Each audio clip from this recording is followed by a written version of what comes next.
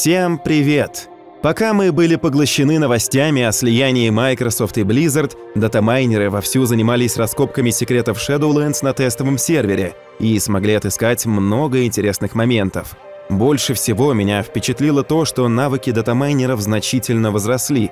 Теперь они способны раскапывать даже модели героев и их анимации синематиков, а это может нам о многом рассказать. В одном из прошлых роликов мы вскользь упомянули о Сильване, которая, по догадкам, должна спрыгнуть в утробу. С того момента эта информация обросла новыми подробностями, и сегодня мы покажем не только прыжок Сильваны, но и заготовки Андуина для нового синематика, а также покажем вам длительность каждого из четырех роликов и изменения анимации смерти тюремщика. Короче, сегодня будет насыщенно, поэтому желаю вам приятного просмотра. Небольшая реклама и начинаем. Perfect World – это популярнейшая MMORPG для ПК, которая не теряет свою актуальность уже 13 лет. Недавно в игре был запущен новый сервер Галатея. На нем будут действовать рейты и печати наследия, увеличивающие количество опыта и трофеев за победу над монстрами. Благодаря этому вы сможете очень быстро прокачать вашего персонажа. Игроки Галатеи не заскучают. Уже сейчас любой желающий может принять участие в марафонах развития и получить потрясающие призы. Прокачивайте персонажей, исследуйте подземелья и выполняйте задания. Или покоряйте идеальный мир вместе с друзьями и получайте свои награды. Perfect World полностью бесплатен. Ссылка в описании. Как мы вам говорили, в эпилоге «Конца Вечности» Сильвану ожидает суд на вершине Орибаса, и ее судьей станет Тиранда Шелест Ветра, которая должна огласить ей приговор. Сначала мне показалось, что Ветрокрылая просто-напросто отправится в изгнание, но Blizzard решили придать загадочности ее уходу, чтобы игроки еще долгое время задавались вопросом, а что с ней? Выжила ли она или ее полностью поглотила утроба?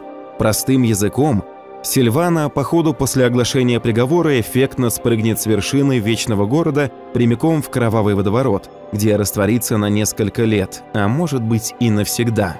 Вот анимация ее прыжка, пока что он выглядит очень коряво, но не забывайте, что это всего лишь сырая заготовка. Также обратите внимание на высокополигональные модели Тиранды и Сильваны, созданные специально для заключительного синематика –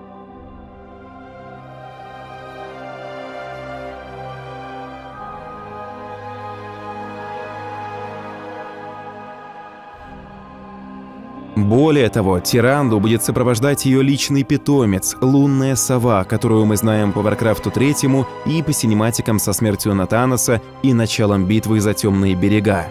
Затем датамайнеры обнаружили заготовки для нового синематика с королем Альянса, Андуином Рином, а именно высокополигональную модель Андуина в его прежнем облике без каких-либо изменений и анимацию небольшого уныния – Молодой Рин почему-то грустит, и понятно почему, ведь он пережил такие лютые ужасы за последние несколько месяцев. Вот только поклонников это тоже заставило погрустить, ведь, по их мнению, после пережитого внешность Андуина должна была измениться гораздо сильнее. Должны остаться хоть какие-то следы перенесенных им потрясений, но пока что их совсем не видать. Хотя есть и такое мнение, что нам покажут одно из воспоминаний Андуина – так же, как это было с Сильваной в последнем синематике. Возможно, разработчики еще доработают ее, или же они намеренно не показывают нам новый облик короля, чтобы сохранить интригу. Однако я больше склоняюсь к тому, что модель Андуина уже никак не изменится. Пишите в комментариях свое мнение. Нужно сказать Андуину, что Microsoft выкупила Blizzard, может тогда ему станет повеселее. Что же касается новых синематиков, всего их в конце вечности ожидается 4. Датамайнеры смогли выяснить длительность каждого из них. Сейчас вы видите информацию на экране, но я на всякий случай зачитаю. Первый – 25 секунд, второй – 51 секунда, третий – 1 минута 23 секунды, четвертый – 2 минуты 42 секунды. Скорее всего, два синематика пройдут за пределами рейда. Один из них точно будет посвящен превращению Пелагия в нового арбитра, а другой – эпилогу Shadowlands, суду над Сильваной. Оставшиеся два синематика нас ждут в гробнице предвечных после победы над Андуином и после гибели тюремщика. Пишите в комментариях ваши предположения, какой из роликов подходит под отведенное на них время. Очень хочется узнать ваше мнение. После того, как мы отправимся в машину созидания для сражения с Ваалом, нас ждет небольшая сценка. Разговор между главными героями, что отправятся вместе с нами. Мы прибыли в самое священное место, самое сердце космической закономерности. Тюремщик попытается завладеть нашими разумами. Ты уверен, что мы сможем воспротивиться его силе? Конечно. Ну, теоретически. То есть без надлежащего тестирования?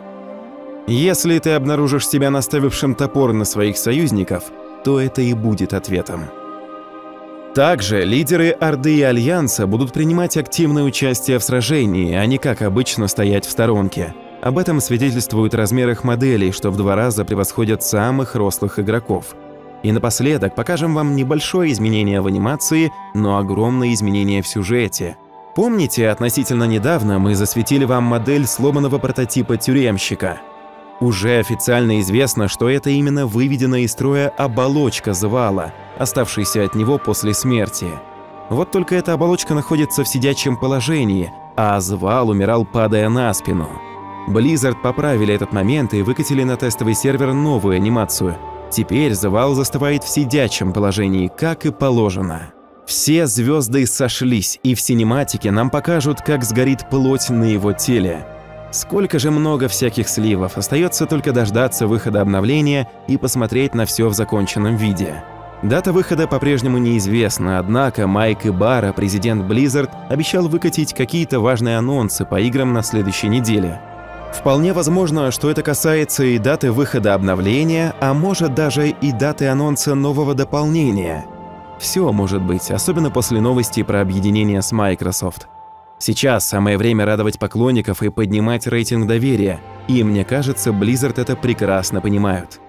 Обязательно подписывайтесь на канал, чтобы не пропускать ничего интересного. Как вы заметили, мы всегда быстрее пули делимся с вами всеми важными новостями, а вы взамен можете поделиться с нами позитивными эмоциями, прожав кнопку подписки, лайка и колокольчика. Также подписывайтесь на группу ВКонтакте, в ней мы постоянно публикуем вот такие мемы собственного производства. Всем большое спасибо за просмотр, до новых встреч!